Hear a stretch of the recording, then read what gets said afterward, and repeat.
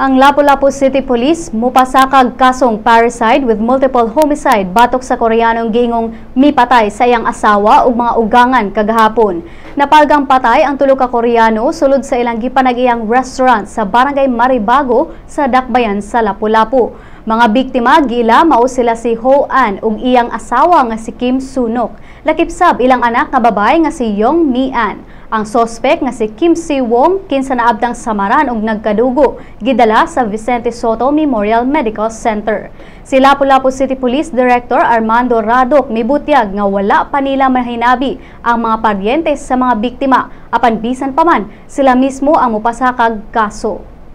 So ang kaso na to ani, naog na siya og ah, parricide with multiple homicide.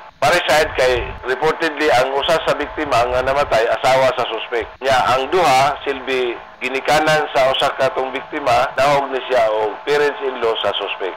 Wa pa na mapinpoint ang relatives, mga friends nila pero ang pulis mo pasakat ang kaso. We have in, enough evidence for that.